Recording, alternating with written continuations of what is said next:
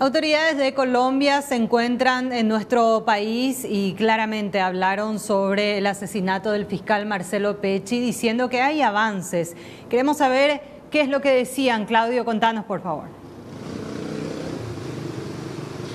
Asimismo, estamos hablando del ministro del Interior de Colombia, Daniel Palacios Martínez, y también el comandante de la Policía Nacional de Colombia quienes participaron de esta reunión con el ministro del Interior de nuestro país, la fiscal general del Estado y por supuesto el tema central y que se dio a conocer en esta conferencia guarda relación a las investigaciones sobre el crimen, el asesinato del fiscal compatriota Marcelo Pecci. No brindaron en detalles cómo avanzan estas investigaciones porque la ley lo prohíbe, las leyes colombianas lo prohíben, compartir información, pero sí destacaron y ratificaron una vez más de que existe un compromiso firme del gobierno y de la justicia colombiana para el esclarecimiento de los hechos y llegar a los responsables materiales e intelectuales de este crimen. Lo que decían después de esta conferencia, o durante la conferencia de prensa, mejor dicho, tanto el ministro del Interior de nuestro país y las autoridades colombianas. Se brindó informe al presidente de la República específicamente de los avances, de cómo están, qué se viene haciendo y de que vamos por, por muy buen camino trabajando coordinadamente las dos policías, tanto con los efectivos policiales del Paraguay que están allá como los de Colombia que están en nuestro ¿La familia puede decir que por lo menos Colombia tiene nombre y apellido de quienes ejecutaron a Marcelo Pecho y ministro?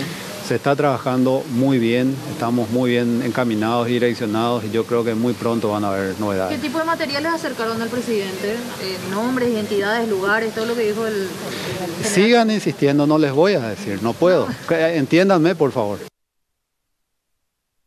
Le estamos informando a la, a la comunidad de este avance positivo, importante estar hoy aquí en Asunción indicando de lo, de lo bien que va la investigación Ustedes me disculpan, no puedo dar ningún detalle de nombre, no podemos dar detalles de eh, tiempo, modo, lugar, evidencia física fáctica que ya está dentro del proceso.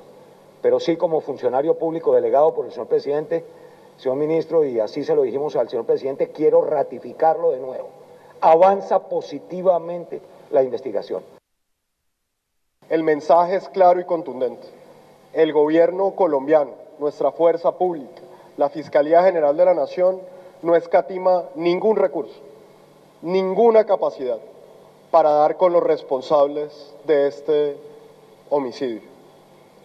Y queremos reiterar, como lo hicimos con el señor presidente, obviamente bajo las leyes colombianas, lo que exige la reserva en la investigación, decirle al pueblo paraguayo que la investigación va bien, que la investigación va adelante, que los resultados se darán, pero que quede con absoluta claridad el mensaje de que trabajaremos para que caigan y para que paguen ante la justicia no solamente los autores materiales, sino los autores intelectuales de este cobarde homicidio.